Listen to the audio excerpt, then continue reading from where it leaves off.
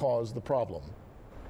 According to a new study by the Associated General Contractors of America, Corpus Christi has beaten the city of Austin in at least one very important economic category. Yeah, listen to this. It's the increase in the number of construction jobs in the city. The survey was done last month. Our Brian Burns joins us live now from the site of one of those major construction jobs, a new apartment complex going up at the corner of Ocean Drive and Airline. Brian?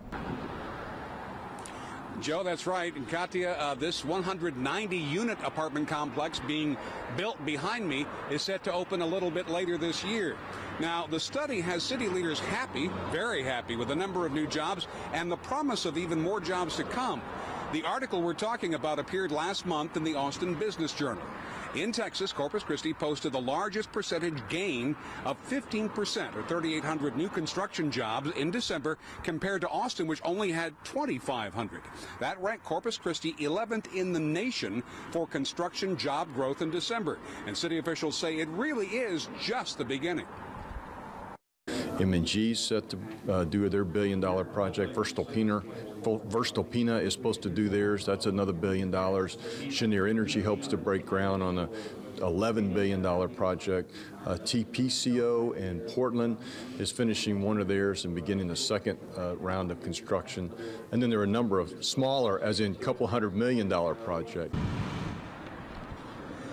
We visited several construction sites around town and saw hundreds of new construction workers, workers like Fernando Delgado, who comes from San Antonio and believes there's enough work here to allow him to stay for the rest of his life. Well, it's a lot of work, as you can see. Are you excited that there's so much work down here?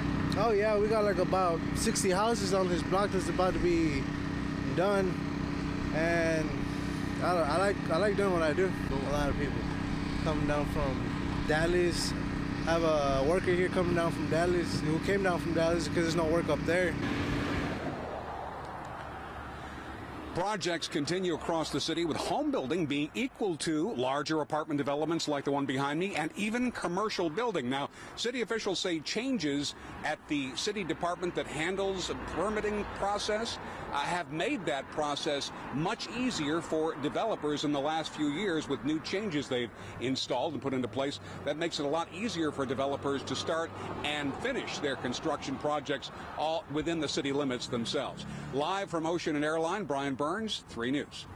Well, we invite him to come on down. Thanks, Brian.